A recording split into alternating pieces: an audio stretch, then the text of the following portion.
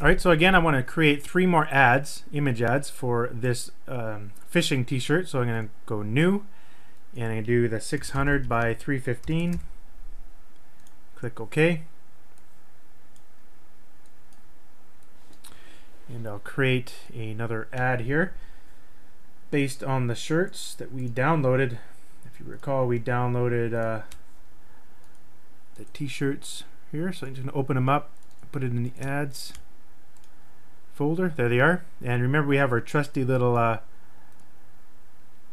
action script that we created in our last our last example. So I'm just going to use that for the regular T again to do the extraction.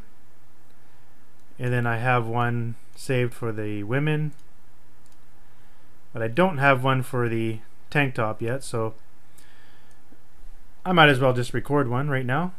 Just in case you missed the last video there, I didn't watch the last a design example, I created a uh, what's called an action script for uh, basically getting rid of all the background and cropping out an image, cropping out a shirt within one of those images. So let's crop out this one. And so the way you do it is you, you come in here and you have to create a new folder. So to create a new folder, you can create a folder like that. I called it Teespring Actions. Then inside here, inside the folder, you want to create a new action. So you hit this new action button and I'll just call it uh, tank top and I'll record. As soon as I hit record, um, Photoshop is recording what I'm doing. So record. So what I'll do is I go to this image, I'm going to right click and duplicate layer. I'm going to hide the background. I'm going to grab the magic wand tool, click in the white area, hit the delete key, do control D to deselect or actually just go select deselect. I'm going to right click this and convert it to a smart object. And we're done.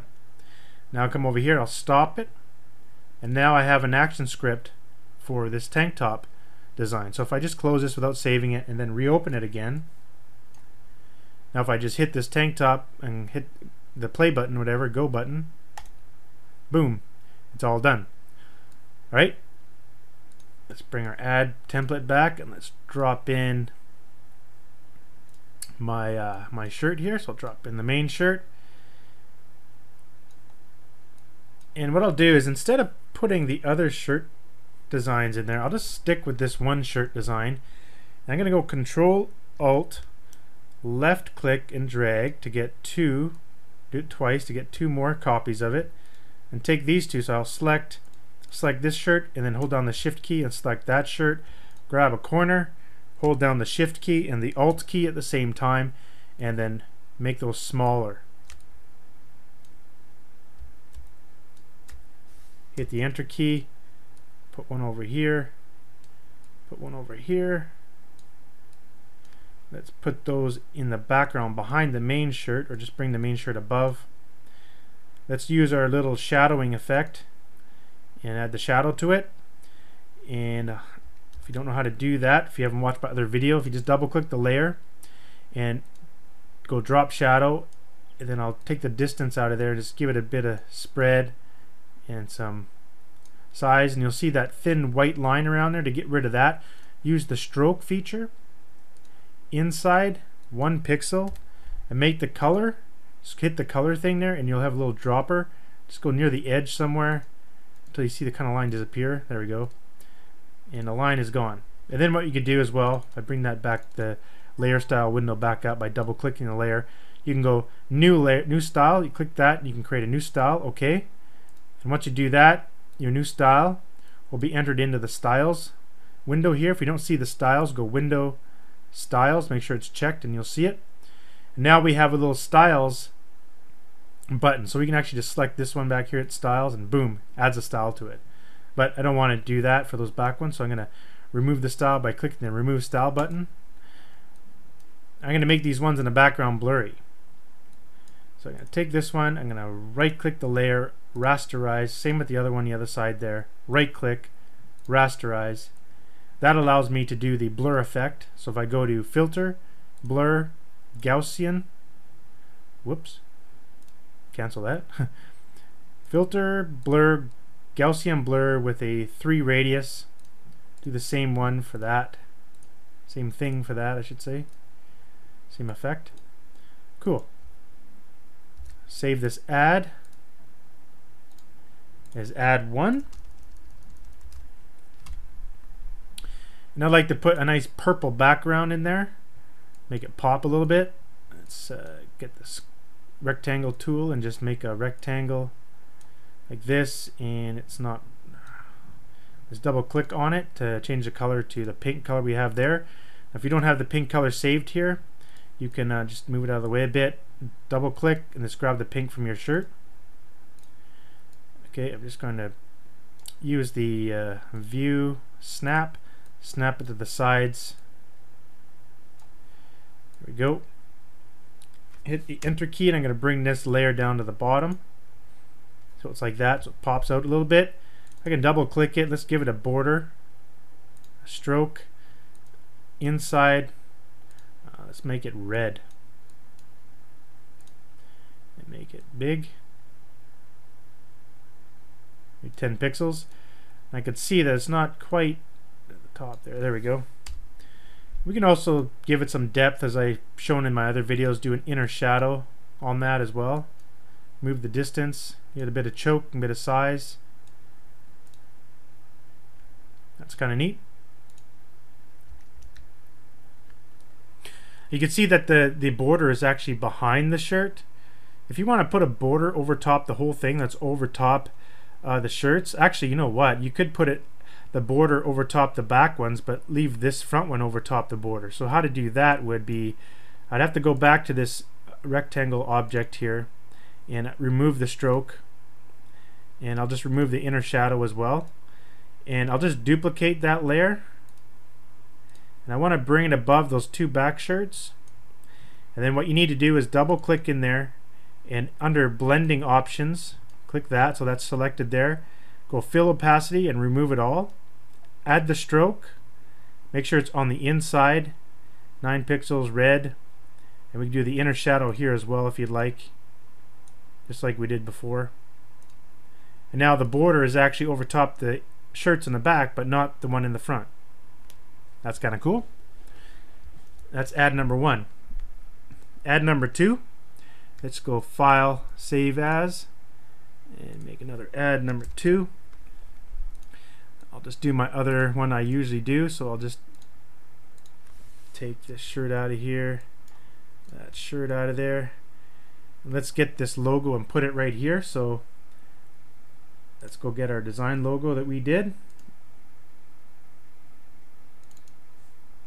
here and what I want to do is if I put this logo on there the the loves and the fishing words will blend into the backgrounds to the same color. So I want to make this all white. So what I'm going to do here is on this image, I'm just going to select all the layers. I don't need this here. Close that group. I'm going to select all the layers, except for the background, of course. Right click, duplicate layers, click OK, and then I'm going to go Control E, as in Everson, or Emerist, or Every. I don't know. trying to think of a word with the letter E in it. It's kind of funny. Um, Control E will combine them all together. I'm just going to double click that to bring up the layer styles and do a color overlay of white. Put it all to white. Finally, I'm going to right click and and convert to smart object. And then I'm just going to drop that into here. And now I can resize it, put it into the side there.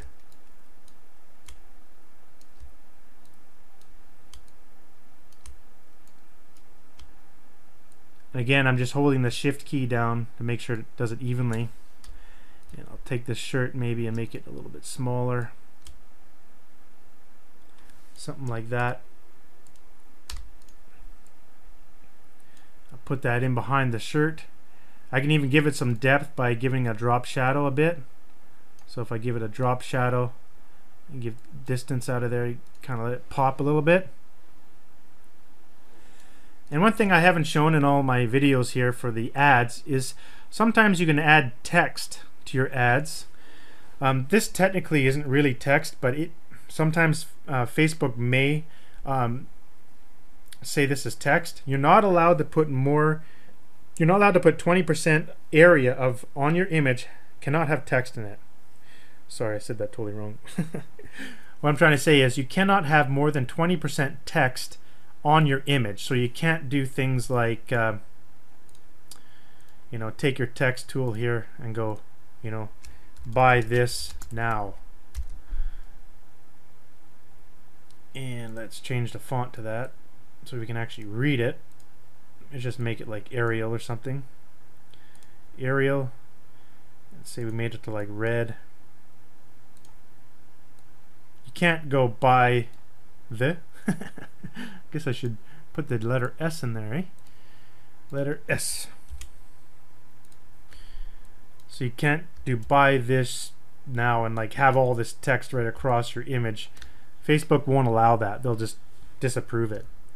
But you're allowed to have some text and so I'll show you what I like doing. I'll just make this a lot smaller and I'll just take a rectangle object here and just put it near the bottom like that. I'll have it over top and let's give it a color of like I don't know dark and then let's go to opacity and let's make it see-through a little bit. Like that, so you can kind of see through it. Oops, I didn't want to add another object there. I did that by accident. Let's just delete that. I'll take this text, let's put that text over top and change the color to like, I like using like white or even better like like a like a yellow And then what you want to do here, I'm going to get rid of the snap, is put your text in here. Um, like something I would want to put in there is like uh, love fishing. Could be something as easy as that. Love fishing with your dad. Right? and then if you want to shrink it up even more you can go into text and you can use the this whatever this is I guess that's the what do they call it I don't know. It's like the distance between the uh, the characters. So if I take that and you can see it shrinks it up a little bit but make sure you can actually still read the letters. And I'll show you why I need to do that. So once you've done that there's a tool that Facebook provides you that, uh, that lets you check to see if your image is actually in compliance with that rule of not having more than 20% text on your image ad. So let's go ahead and save this as a PNG and go on Facebook, not Facebook, uh, go to Google and type in FB Grid Tool. And it should be the first one coming up.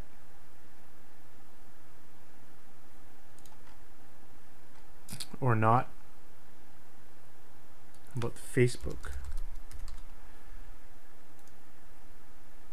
okay here we go. Facebook grid tool. There's the grid tool link right here. And once you get to the grid tool link oh it looks like I got it. I gotta log in here. Just give me a second. Log in. Once you get to the grid tool, you'll see the link here. Just take this link and drag it onto your uh, your toolbar. If you don't see your toolbar here, um, just right click anywhere beside the tabs, right click and make sure the toolbar is selected. I already have it on there, so I'm just going to delete it. But whenever when you got it on there, you just click the button, you go straight there. So browse, and we'll go to our our image here. And so this is uh, how you use the tool. Now, I got tricked by how they, they actually word this. It says click all the boxes that contain text to see whether your image is covered by less than 20% text. Now, I thought as long as it's 20%, it'll, it'll work. But no, no, no, that's not the case. It says less than 20%. So you got to make sure it's 16%. So if you go like this and you start clicking, you'll see, or 12%, yeah, see 16, as, as soon as I click one more box, it's 20%. I mean, that's too much. So as long as you have that many, so that's why I like to shrink it up so it's kind of right in the middle. It can You can see it can kind of go a little bit over this way a little bit more and you can add more text all the way to the edge here if you'd like. And that will be less than, that's 16% coverage right now. And so that's less than 20. but you cannot do 20. But sometimes images like this, sometimes they think this is text as well, but sometimes they don't classify as, as it. It's maybe once out of like hundreds of campaigns I've done that they've actually disapproved because they had text in there, but it's very rare. So anyhow, so once you see this, and if you're outside of the boxes, whatever, you just go back to Photoshop and, and you know shrink it up a little bit so it fits in here. And that's how you can determine whether or not your image will get approved by Facebook. Of course, you know, if you have something really violating their terms, like, you know, a naked women or something like that in your picture, then you, you can't do that either. So that will be our second ad. Let's go ahead and make a third ad. So with the third ad, I'll just save it as number three. What I'd like to do is add an image of people in this ad. So let's go to Google and see if we can find some people fishing, preferably a woman fishing with her dad. So let's say woman uh, fishing with dad. Go to images and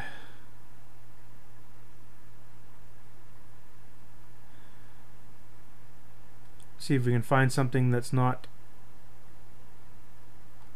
too too bad to put in here. Um, looks like a lot of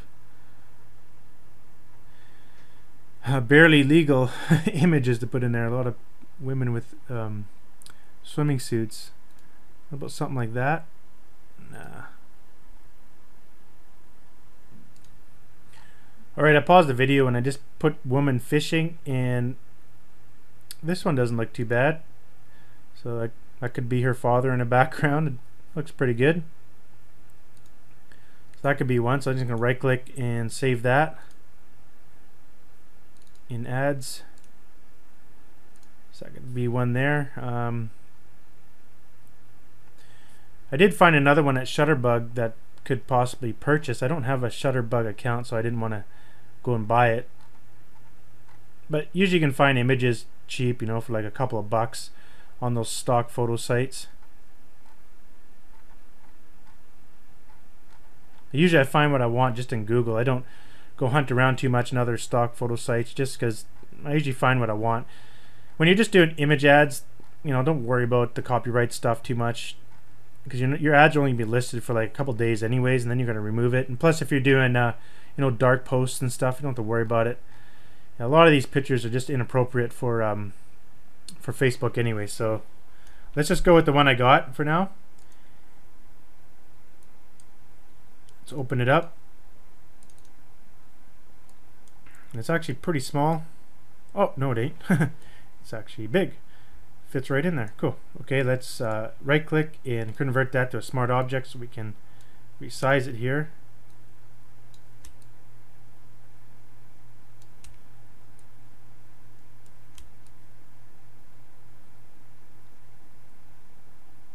just fits in there. Okay, let's put it in the background here And we can move our our shirt right there